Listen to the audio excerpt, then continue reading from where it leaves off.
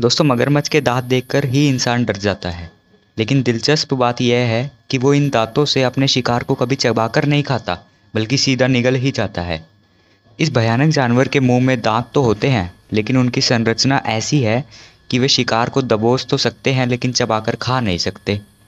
यही वजह है कि वे शिकार को दबाने के बाद सीधा मुँह में निगल जाते हैं।